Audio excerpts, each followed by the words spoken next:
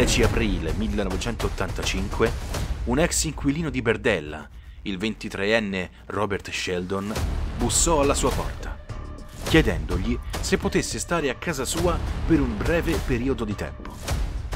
Era l'occasione perfetta per Berdella, che, come fatto precedentemente con la sua prima vittima, lo drogò con dosi massicce di sedativi e lo tenne prigioniero nella camera da letto per tre giorni, durante i quali il ragazzo venne crudelmente torturato in vari modi.